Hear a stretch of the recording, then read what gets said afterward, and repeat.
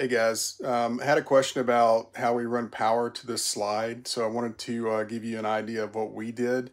Um, it wasn't, it's not a grand solution, but it's really the only solution that we have at the time. So I'm gonna flip you around to show you what we did.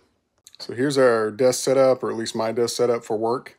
Um, I'll put links in the descriptions um, for some of these items that I have here.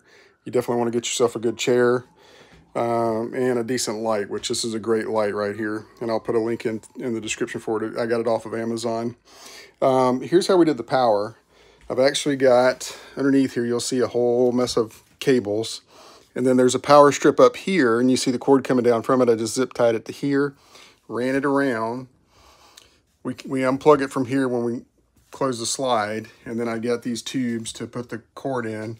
And then back in there, there's a power strip, and then we just plugged it in back there, and that's it.